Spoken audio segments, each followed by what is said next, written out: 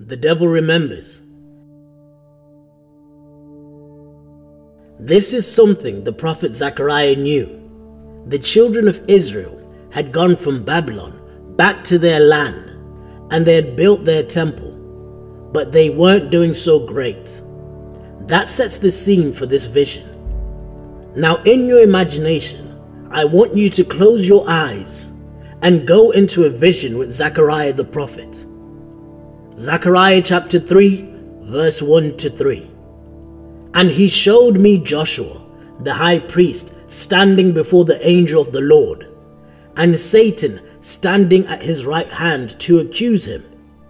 And the Lord said unto Satan, The Lord rebuke thee, O Satan, even the Lord that hath chosen Jerusalem rebuke thee. Is not this a brand plucked out of the fire? Now Joshua was clothed with filthy garments and stood before the angel.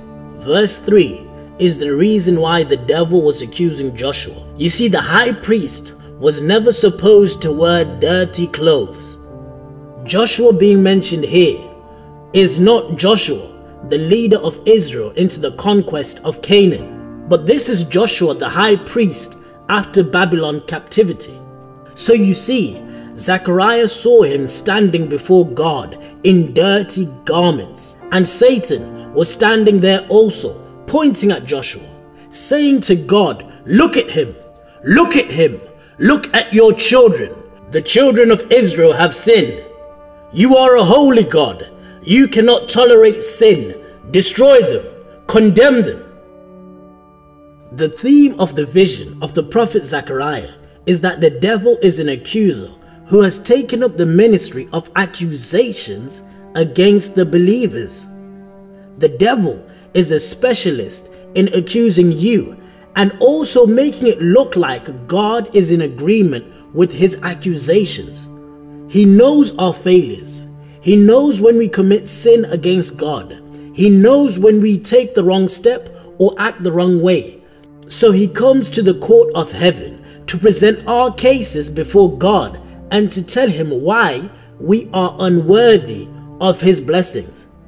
The devil knows the standards that God has set for us, his children. Therefore, he will always lie in wait for us to transgress God's law so that his case will be presentable to God. You see, the enemy is very strategical.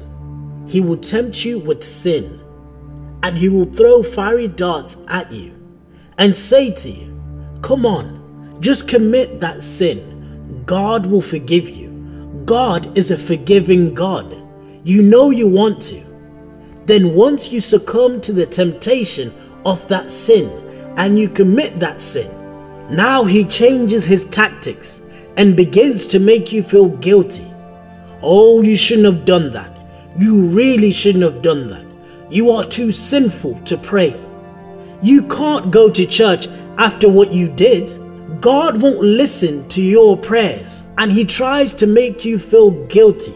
So initially, He entices you, and then later on, He begins to try to make you feel guilty. He is the accuser of the brethren. Have you ever felt Satan's accusations against you? Have you ever been alone reading the Bible? And just like Ezekiel says, you will look back on all the ways you defiled yourself and will hate yourself because of the evil you have done. And you kick yourself saying, Why did I do that? But the fact is, that happened years ago. But the devil remembers what you did. The devil remembers.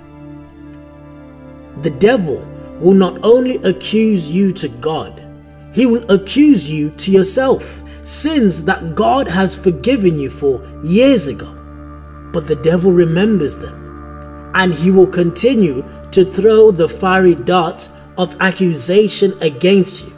Believers should know that the devil watches every one of their deeds. You may forget a sin that you have committed. You may forget that you have committed a particular sin. But you need to know that the devil remembers.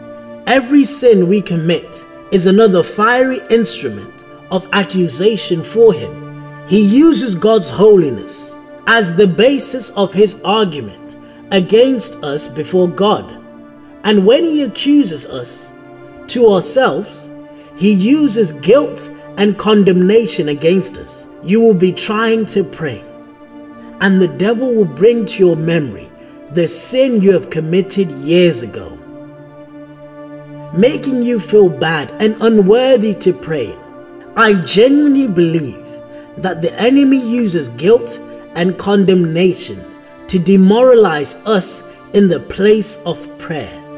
So, how can I overcome the accusations of the devil? How can I defeat the accuser of the brethren? The answer is simple that is to put on the whole armor of God.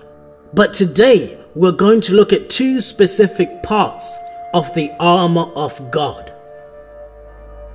Ephesians 6 introduces a metaphor that illustrates the reality of the spiritual battle that you and I face each and every day and describes the protection that God provides for us. So, what are the components of the armor of God? First of all, Paul says if you are going to defeat the devil, you've got to use the armor by putting on the girdle of truth. Now, the Roman soldier wore a tunic, and in order to keep this tunic from getting in his way, he wore a girdle, and he would have this girdle around his waist to tie everything together. Now, in the Christian life, our girdle is of truth, and the girdle of truth represents the truth of the Word of God controlling our lives. When we wake up in the morning, the first thing we should reach for is the Word of God and let the Word of God get into our lives. Truth is what gives our armor security and strength. Remember that the God of this world is the father of lies. And as you are living on this earth, as a child of God, it is imperative you put on the girdle of truth each and every day. If I, as a child of God, am questioning God's word, if I am not believing God's word, if I haven't taken all of God's word and applied it, then Satan is going to get the victory. The girdle of truth simply means the application of God's word to my life. Satan is the liar and if my loins aren't girded with truth, I am going to believe his lies. It is important that we immerse ourselves in scripture and we apply the truth in our lives. Now, having put on the girdle of truth, which is the word of God, the next step is to put on the breastplate of righteousness, which is for the front and for the back. This piece of the armor protected vital organs in the heat of the battle. The righteousness is not our righteousness. Isaiah 64 verse 6 All of our righteousness are like filthy rags. It has nothing to do with our own righteousness. It is to do with the righteousness of Jesus Christ, which we receive when we are saved. Our righteousness now comes from us believing in the completed works of Jesus Christ and what he did on the cross for us. You see, Satan wants to come to you and me and say, You did that. You did this. You shouldn't pray anymore. God doesn't love a sinner like you. Just give up. You deserve everything you're going through because of what you've done. Why are you going to pray to God? He doesn't listen to people like you. Just give up. We have on the breastplate of righteousness, and when he accuses us, the righteousness of Christ answers him. There are a lot of Christians that are listening to me right now that are being defeated by the accusations of the devil. You are trying to pray and all of a sudden the enemy attacks your mind and raises accusations and says, What right do you have praying to God? Do you think God will listen to you after all the sins you have committed?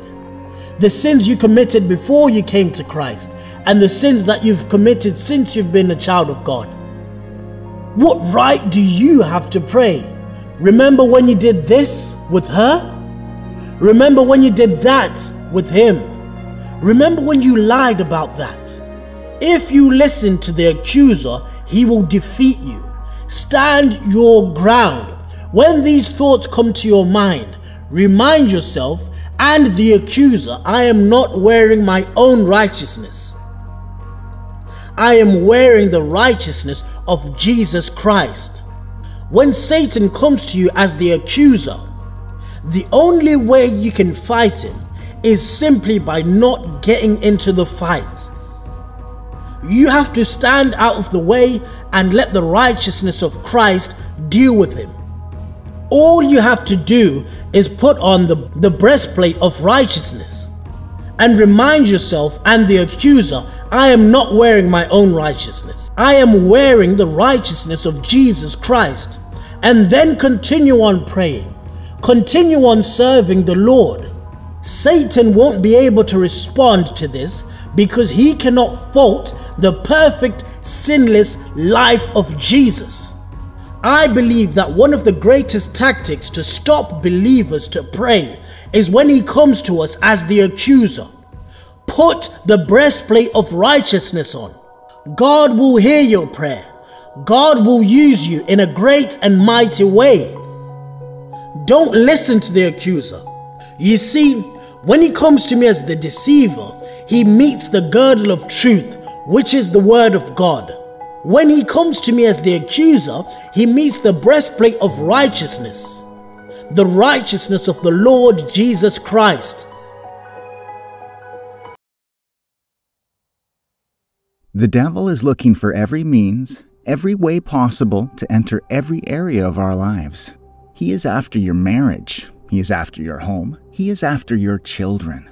He is after your finances. He is after your joy. Don't be naive and think that the devil is only after your spiritual life. Don't think the devil is only after some parts of our lives. He is also after the smallest things in our lives. That is why we must resist him. There are different ways to resist the devil. We can use the Word of God just like Jesus did in the Bible when he was tempted by the devil. He was led into the wilderness to be tempted, but he stood his ground and spoke the Word of God to the devil. If we read the passage of Scripture where Jesus was tempted in the wilderness, we see that the devil is not devoid of the Word of God. He knows everything about the Word of God. This is to let us know that we must know who we are dealing with here. It is the devil the master of deceit. He can speak the word of God to deceive people. We must know that we are not dealing with a man, it is the devil. We can also pray to resist the devil. Prayer is a great key that opens all doors. Prayer can be used to resist the devil in all ways. Humility can help us to resist the devil too.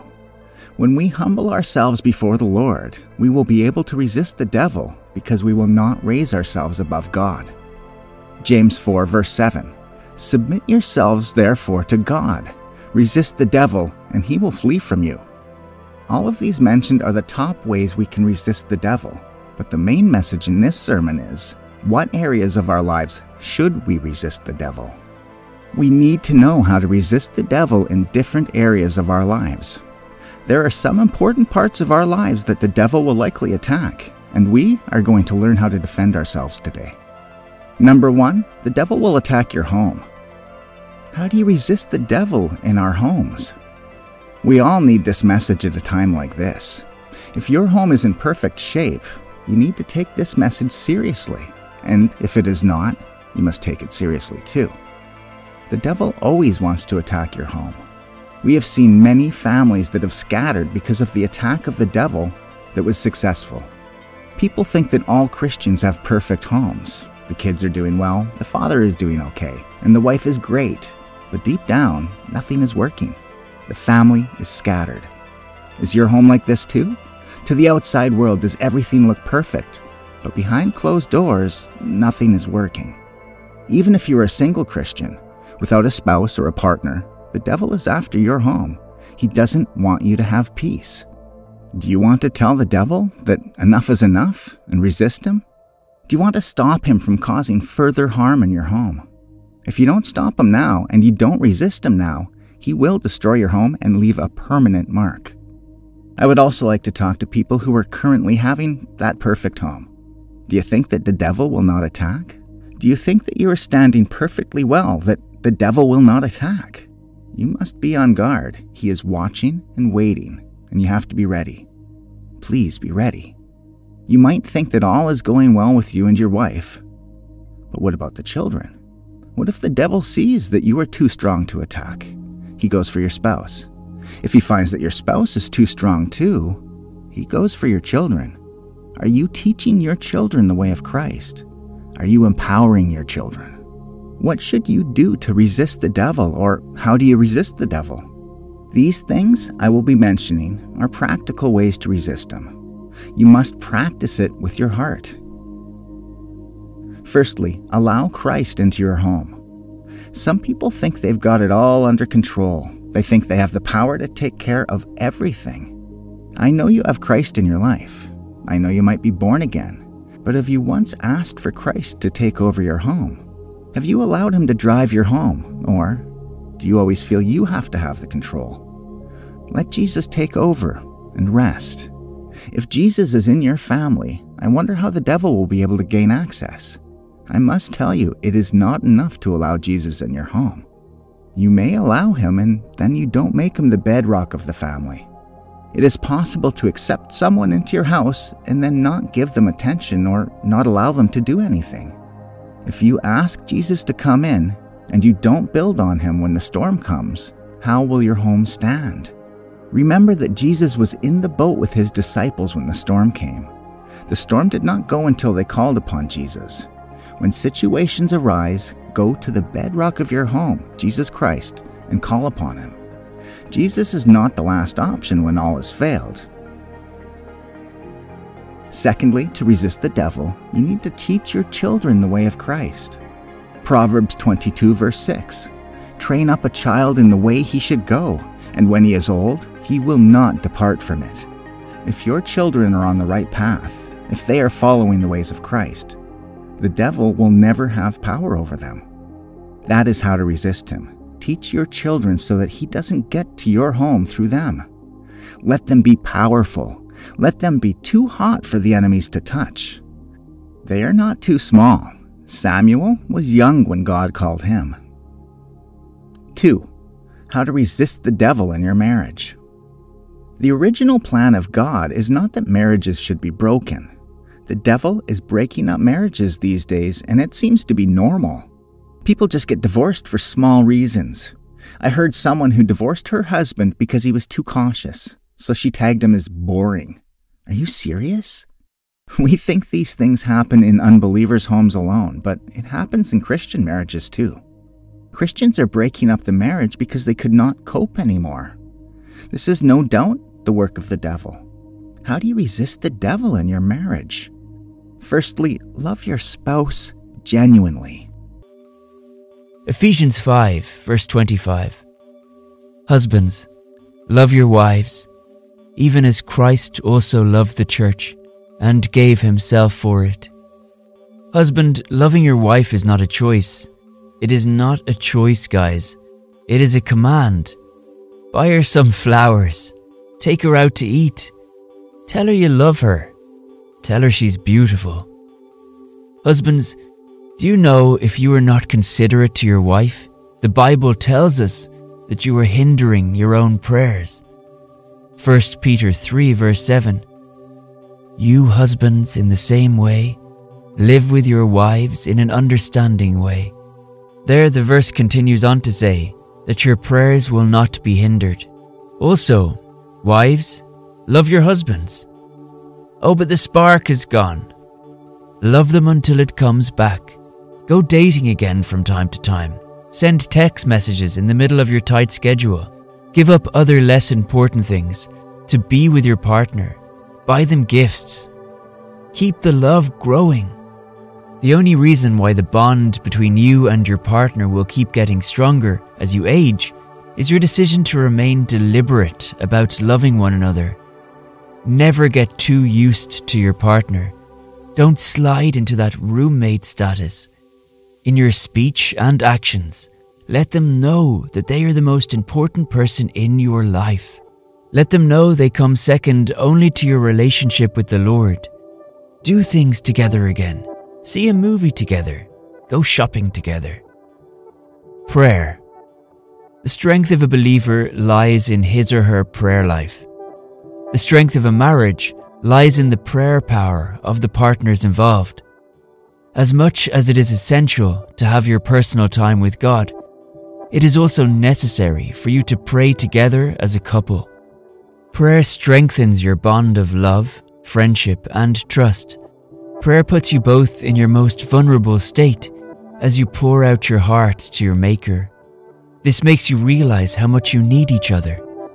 Make daily prayer a habit as a couple, no matter how short. Praying together helps you recognize the personal challenges your partner may be facing and helps you both to fight it in the most effective way. You can take charge of the situations in your home as you agree in prayers. Also, prayer is a sure way to deal with or resolve conflict. As a couple, you will struggle to go before God if you two are on bad terms or in conflict. Making prayer a daily part of your life will cause both of you as a couple to resolve conflict. Apart from the fact that prayer helps you control your home from the spirit realm, it also builds intimacy between you and your partner. The more you pray with or for somebody, the stronger the bond between you. This is why prayer partners share an unexplainable kind of love. Make your spouse your prayer partner. It's difficult to remain angry with somebody you have to pray with. Prayer helps you to quickly get over your clashes and trust God to help you live together as one.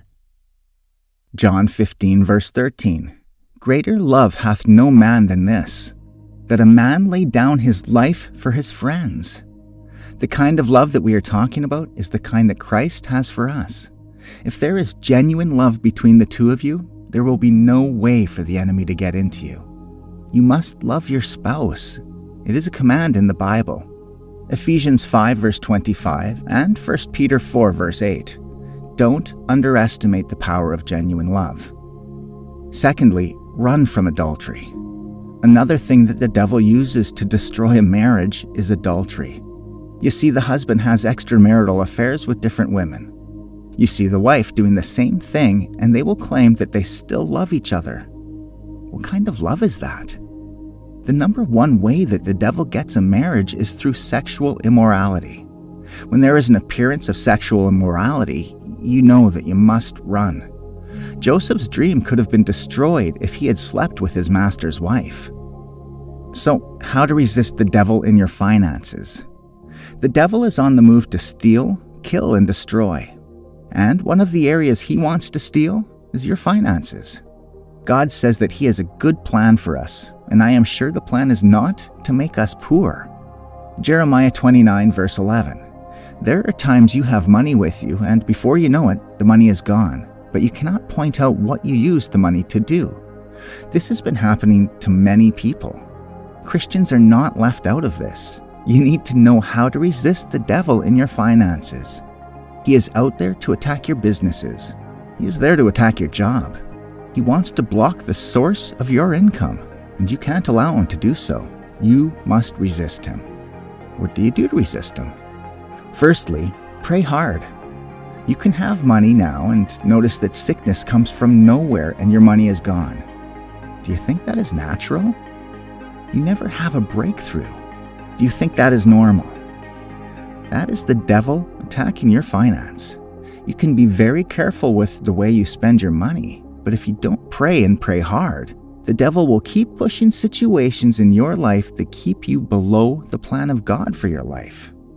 Secondly, avoid sexual immorality. What I am saying is to avoid adultery or sexual immorality. As a man, you must avoid it. As a woman, you must avoid it. It is not limited to gender. What I will say is, what can make a billionaire become a millionaire is sexual immorality. People love to spend unnecessarily just to satisfy their sexual desires. Sexual immorality is a sin, and it will make someone poor. As a Christian, run from this. If you run, you are resisting the devil. Sexual immorality will literally steal money from your pocket. Time and energy you could use on building your business or earning more, you are spending it on satisfying your sexual desires. Watching unholy things on the computer for hours at a time, hiding stuff, driving around to commit fornication and adultery, when you could put that energy into your future. 3. Plan and follow the plan. Luke 14, verse 28. For which of you, intending to build a tower, sitteth not down first and counteth the cost, whether he have sufficient to finish it? Planning helps. It helps you to know how to spend, what to spend on, and what not to spend on. If you have no plan, you are giving the devil the chance to attack your finance. Always plan and follow the plan. And avoid laziness.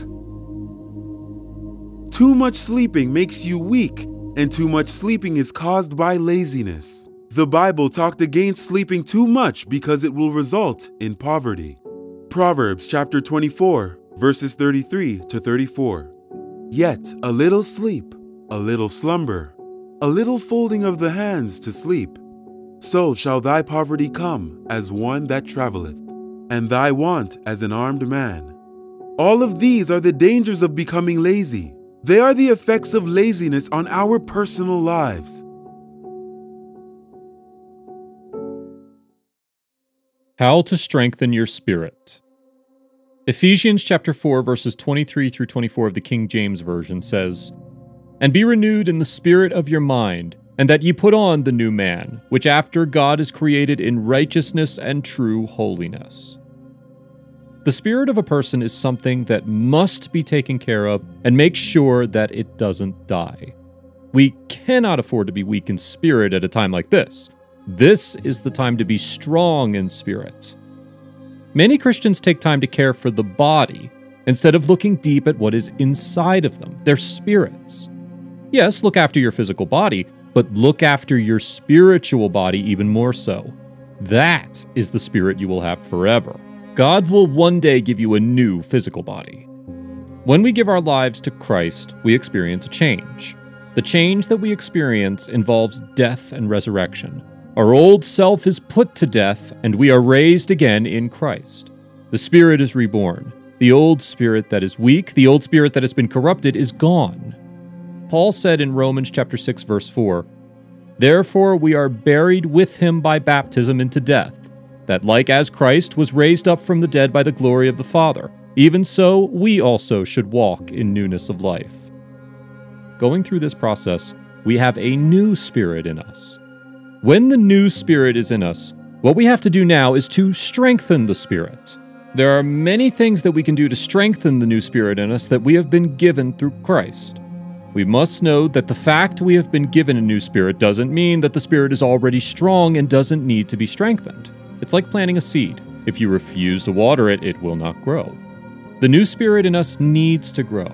It wants to come out strong and keep growing stronger. David prayed to God that he gives him a clean heart and a new spirit. That new spirit that he prayed for must be taken care of, it must be strengthened. I would like to share with you what will happen to you if you refuse to strengthen your spirit. Firstly, you will be easy prey for the devil. You must have read in the Bible that the devil is going about looking for whom to destroy and kill. The people that he will destroy are those that are weak in spirit. 1 Corinthians chapter 16 verse 13 of the New International Version says, "Be on your guard, stand firm in the faith, be courageous, be strong." You must be strong in spirit. You must strengthen your spirit. Don't act like you don't care. The devil is always going about looking for someone to attack and destroy. You don't want to be his victim. You must be strong in spirit. If you have been weak before and you are allowing the devil to make fun of you or to make you look like a fool, you have to rise now and stand against him in strength that comes from God. To put it simply, if you don't strengthen your spirit, the devil will push you around and influence aspects of your life. But you, as a child of God, need to be able to stand your ground and not allow yourself to be pushed around. Secondly, you will be tossed around.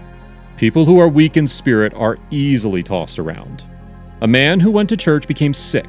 He was afraid of dying. His friends, who were not believers, started giving him options. Some advised him to go to people who could heal him, people who worshipped idols. He did this and it didn't work. His friend also advised him to join occult groups. He did, and it didn't work. All the different advice he received, he followed it. This man had weak spirit, and he was easily tossed around.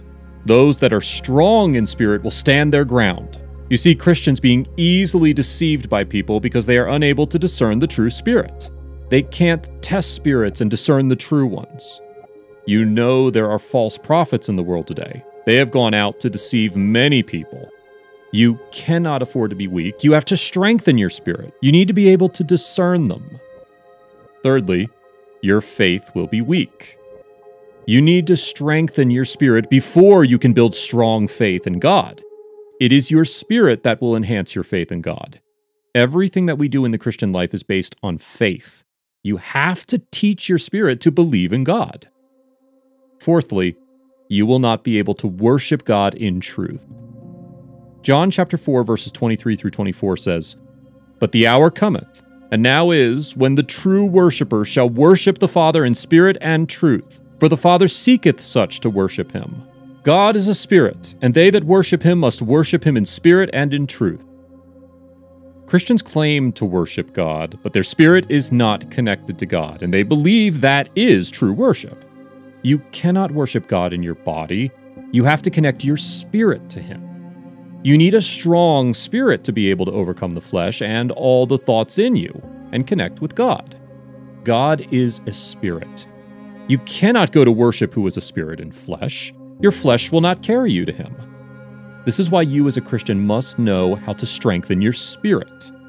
It is important in this time we are in. We cannot be disconnected from God. When we pray, we need to be in spirit and close our minds to every distraction that can disconnect us from God. What are the things that we need to do to strengthen our spirit? Well, firstly, accept Christ. In Revelation chapter 3 verse 20, Jesus said, "Behold, I stand at the door and knock. If any man hears my voice and open the door, I will come into him, and will sup with him, and he with me." What Jesus is telling us here is that he will come to live in us. He will be with us in spirit. If Jesus is with us in spirit, that means he will strengthen our spirit.